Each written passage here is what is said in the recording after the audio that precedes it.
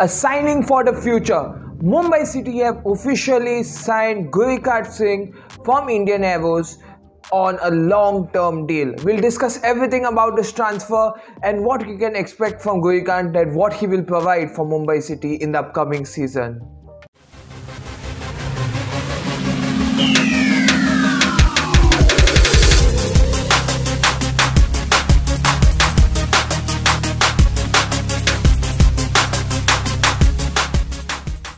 So hey guys, welcome back to A to Z TV. Thank you for stopping by for another Mumbai City video.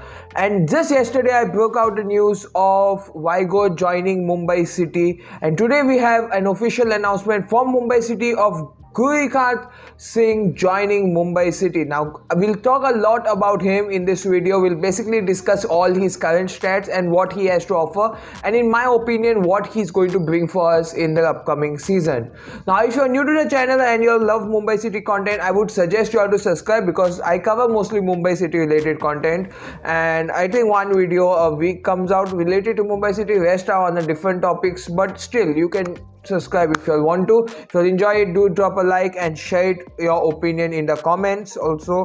So now basically many are asking me like what can we expect from Gurkirat we'll talk about it later but first let's talk some you know small data about Gurkirat so Gurkirat is basically 18 years old. He's uh, he is born in 2003 basically he's younger than me.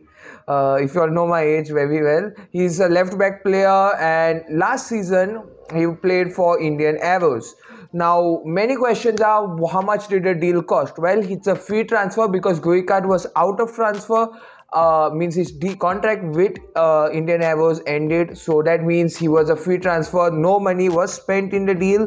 Uh, he's valued at 16.4 million rupees, which is 1.6 crores, if you all ask.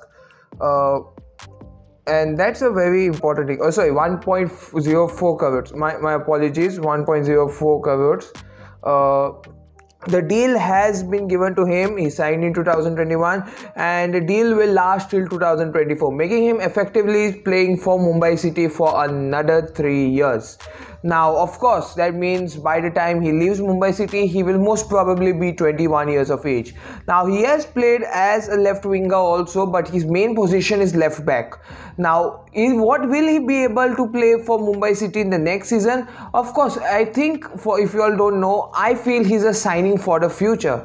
Now, when I mean signing for future, I basically mean to say that he won't be playing as a first choice, neither as a second choice, but more as a reserve player. Now, see, we already have uh, a Mandar and a Vignesh at that position. Okay, now Mandar is kind of old, so we can throw him out. Okay, in a few years after his deal, and I don't see him playing for many more years.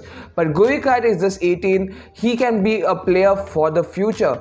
So what I mean to say is maybe he can just play in the reserve team once, okay, then the B team, and after that soon he'll be a first choice if he performs exceptionally well. And I have a lot of hope for him. I want him to play well. Uh, just a small update. If you just wanted to know, he has played last 18 matches and has registered a goal a total of 1000 uh, total of 1158 minutes of football i presume that's 1158 minutes of football uh, overall i feel it's a good deal nevertheless to say about because it's a very interesting signing for mumbai. Because first of all he's young and it's a good position that we need to invest in. If we are investing it now i don't see we signing another left back in the future. Of course you know Tondonba has also left mumbai city to northeast united. Uh, the amount has not been specified till now.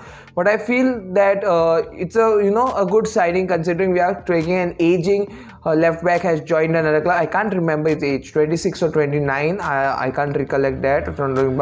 But we have got an 18 year old. He has he still needs time to learn. Okay, it needs time. But considering he played 18 matches for Indian Arrows last season, I have a strong feeling that he will be performing well.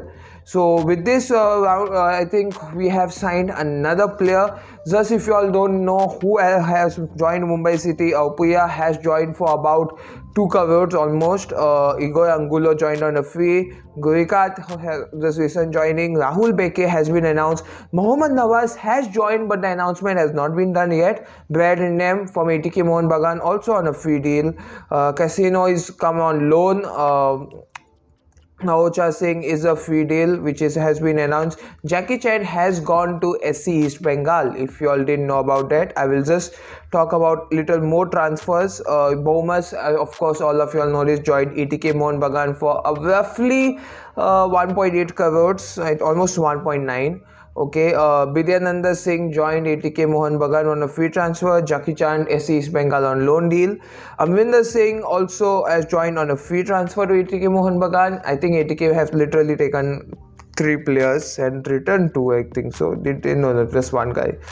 So uh, Tondonba Singh has joined Northeast United. On the fee transfer is not confirmed. So when that gets confirmed, I shall inform you all.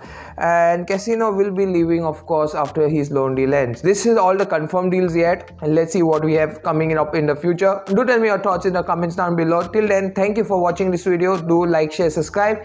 See you all in more Mumbai City related video content coming soon in the near future. Goodbye. Take care. Stay safe.